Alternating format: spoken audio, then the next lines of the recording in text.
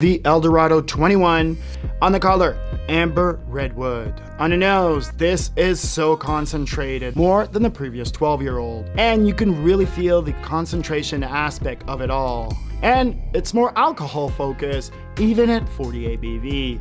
But this is very similar when it comes to the delicate, subtle ways of this nose. On the mouthfeel, this is a pure bliss of sweet oak tannins that are wrapped into spiciness, but sweet all at the same time. This rum is so focused and precise, has nothing stands out.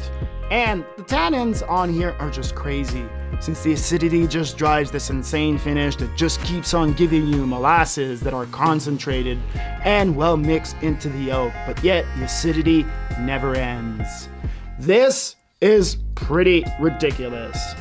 21 year old, $125. Yes, I know it's expensive, but that is just insane to me